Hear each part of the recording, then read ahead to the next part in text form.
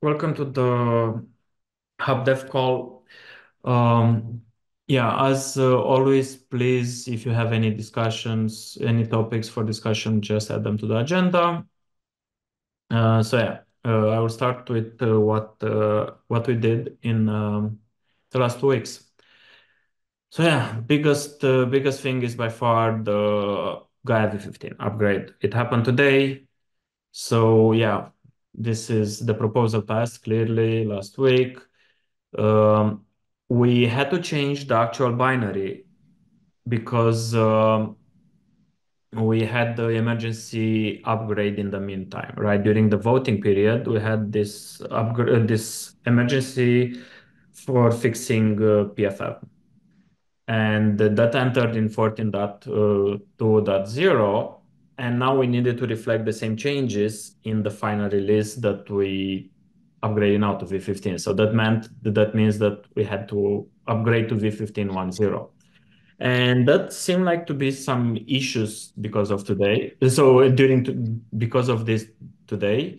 So uh, yeah, well, first of all, thanks to all the validators for upgrading. The upgrade took around two hours. That was expected because there were uh, a lot of migrations. But yeah, as I said, there were some issues with these versions.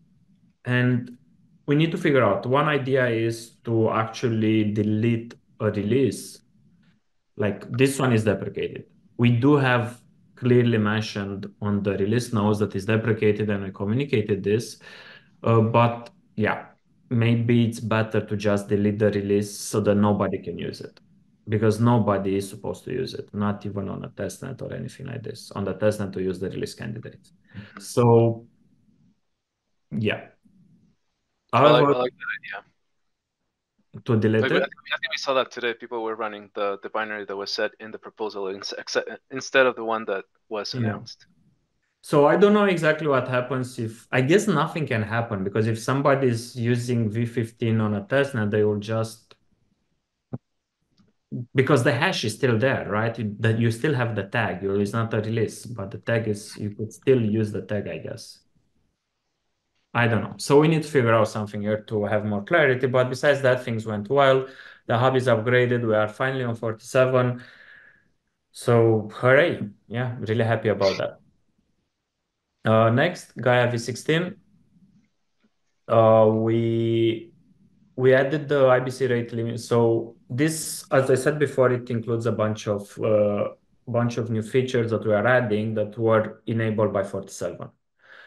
So one of them is the rate limit module. Uh, there is a signaling proposal on the hub already, uh, and we already have a PR with uh, the module integration and end-to-end tests. So the next thing for this will be to, once the proposal passes, or we think that it will pass, we have high confidence it will pass, to add the migration code that enables this. Uh, so in the upgrade proposal, we'll just add the rate limits that we proposed in uh, that we suggested in our proposal. Uh, these are so very conservative limits. The there should not be the the user experience should not be impacted, so it should be fine. And then we monitor after the upgrade. We'll continue monitoring these uh, flows on on the IBC channels and uh, adapt adjust the limits as we see fit. Cool. The other thing is the ICA controller. We have an ADR for it, so we will enable it on the hub. We also have the PR with that enables this with the end-to-end tests. Um, yeah. So this is pretty much working on V16. In addition, something that I didn't put here, but we start working on the skip integration, on the SDK block integration or block SDK integration from skip. Uh, and uh, yeah, the plan is to be done with that by the end of next week.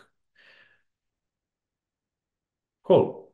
Uh, another update is uh, interchain security with SDK 050. We cut an alpha release.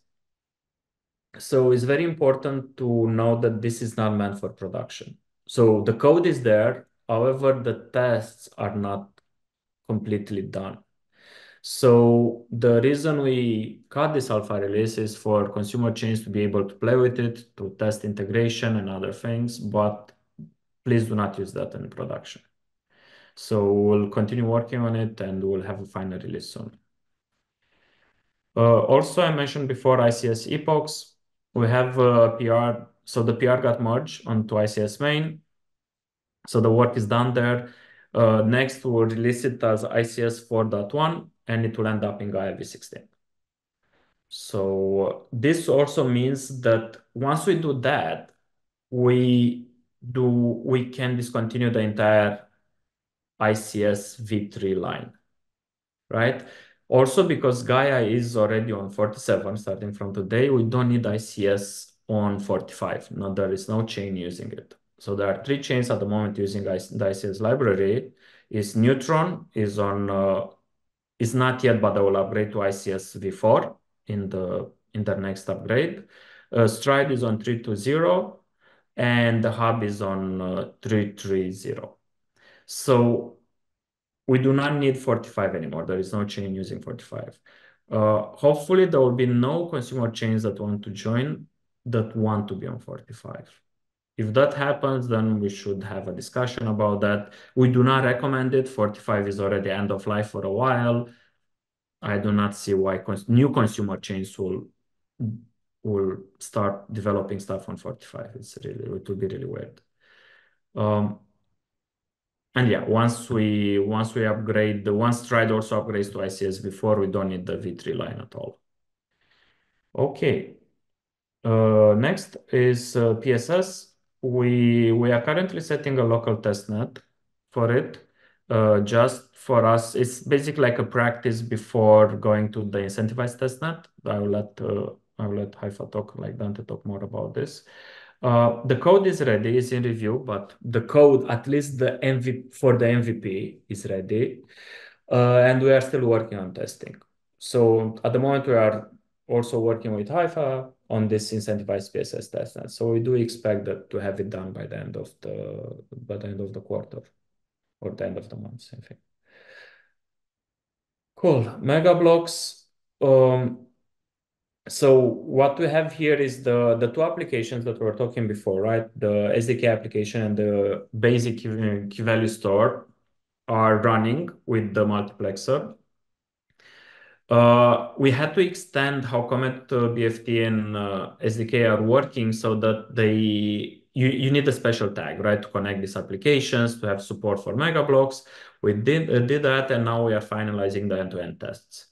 Uh, this is this is pretty much in a nutshell how would the update on this work. What we want to have is a, a short demo. I think Jehan, you are calling it something else, but yeah, pr pretty much like a showcase of how how this thing works.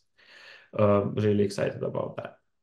Uh, finally, MBT model-based testing uh, is uh, we are adding slashing to the Quint model and MBT integration so together with MBT integration, uh, is currently in review. This will pretty much complete the work on expanding MBT, right? Expanding the model and uh, and integrating it in, uh, in, in this framework. Uh, we need now to better understand and anal analyze what's the what are the benefits and uh, how we can how we can move forward from here. Yeah, this is pretty much it. Any questions?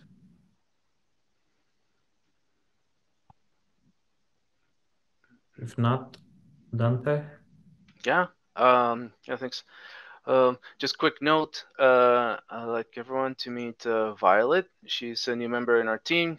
Joined us uh, just over a month ago. She's doing. Uh, she's going to be working a lot of on the on our automated tests, and uh, she's been uh, exploring yeah how how to improve our existing test as well as uh, how to bring in other tools like uh, Strangelove's interchain test into our uh, arsenal. Um, so hi, the, hello. Hi. um, in terms of uh, stuff we've been up to in the last couple of weeks, uh, last week we ran a, our latest demo day where we uh, walked some uh, walked the participants through uh, how to update their validator info and how to get uh, more people to uh, assign keys to our consumer chains, and uh, went very well. Uh, very good numbers in terms of participation. That hopefully lead to more people doing this on mainnet. Um, for next week, we're planning on doing another demo day, but based around a liquid staking module. Uh, we'll see how that goes, uh, as well as upgrading uh, both of our testnets to V15.1.0. They're, they're running 15.0 at the moment. Um, yeah, we were also busy in the last week or so uh, doing some testing and debugging around the V15.1 RC0.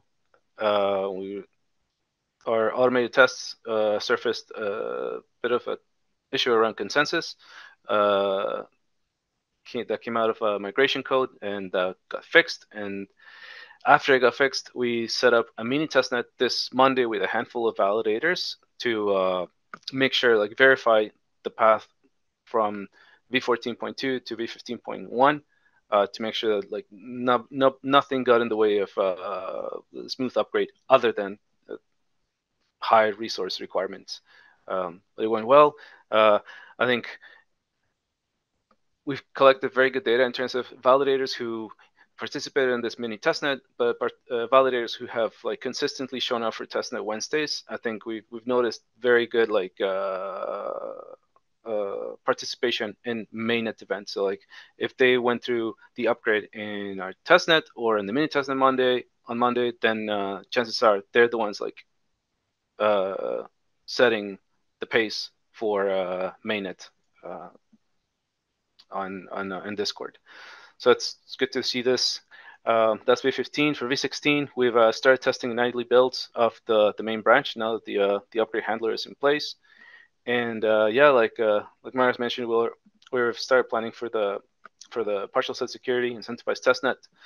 We have a good set of templates for uh, so we can build on what we did with uh, Game of Chains, and uh, we're currently setting up just local testnets to start exploring what kind of events, what kind of tasks we can set up using a partial set security uh, uh, for this new uh, upcoming testnet and we'll be working together with uh, uh, yeah, all the folks in the interchain security team to get all this sorted out. Um, yeah, any questions around this? Nothing to add here, but I maybe have a follow-up uh, from the operator perspective um, about the keeping or dropping uh, deprecated release tag thing.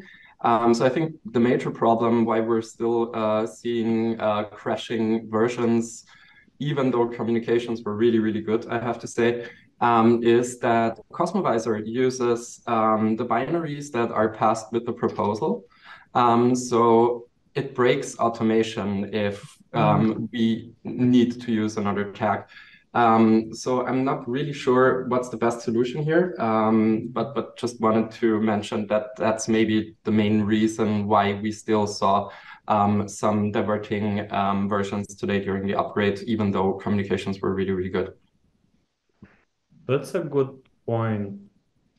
I think ideally would be to use exactly the same binary as in the proposal. That's exactly what we would like to do, but yeah, that also, actually, it will be very useful to have governance proposal for software updates that take less than two weeks. I don't mm-hmm. think we need like everybody votes yes. I understand that we it shouldn't be like by the, the the governance should take a decision, the community should take a decision, but I don't think we need two weeks for people to think about that. I think something like up to one week will be good enough. Uh, yeah, generally agree here. So, uh, and I know that, but I do not know if it's from 47 or it's from 50. I know that SDK is bringing these expedite proposals and uh, stuff like this, but I don't know exactly where they land. So I have to check that, but that could be one way of minimizing the risk that something happens during this period.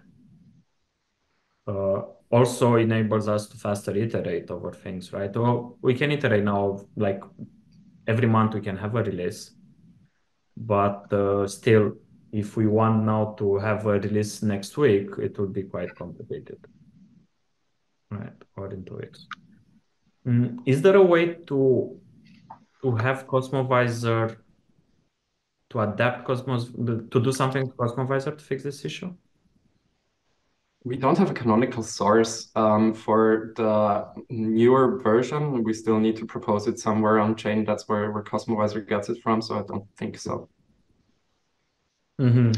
In, in this case, where we, we want to, like, we as in, uh, I guess, whoever's responsible for publishing the uh, binaries, uh, we we do want the Cosmovisor to break if we don't want people to run the binary from the proposal it will break automation, but like like we we need it to break so that people can actually use the right binary. Uh, you want people to not even try to sign blocks with the wrong uh, binary, right? I guess so. But then uh, Clemens has like the actual operator operator perspective here. I, I think by removing the release tag, um, that should essentially do the same thing. Um, I think Cosmovisor uh, wouldn't be able to download anything and it would just, just halt at the upgrade block uh, and just, just, just loop there, restarting. Um, so I think by deleting the defective release, um, the proposed defective release and the binaries, um, that would essentially um, yeah, be the same thing. Is it sufficient to remove the release tag or you need to actually remove the tag completely?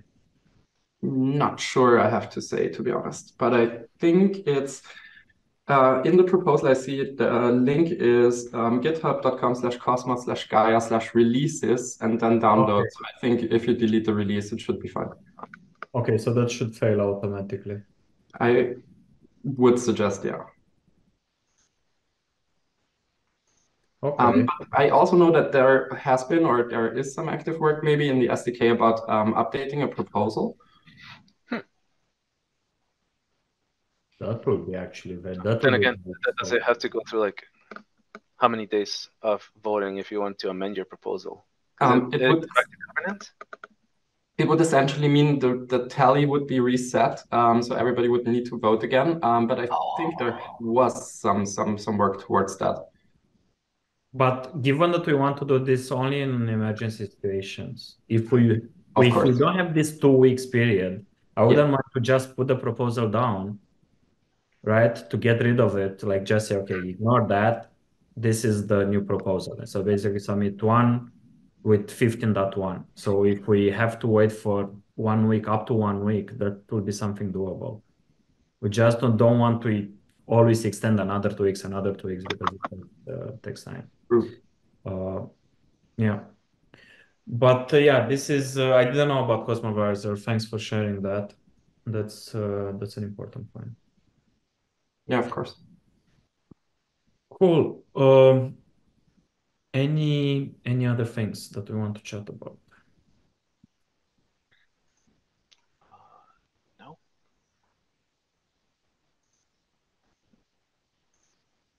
Okay. Uh, it looks like yeah, we're we're down to 15 validators missing in mainnet, so it's we're making progress there. That's good. I I would like, yeah, I do not know why validators take so long. There are some validators that take much longer. I would love for this to happen faster, but yeah. The beauty of decentralization, I guess.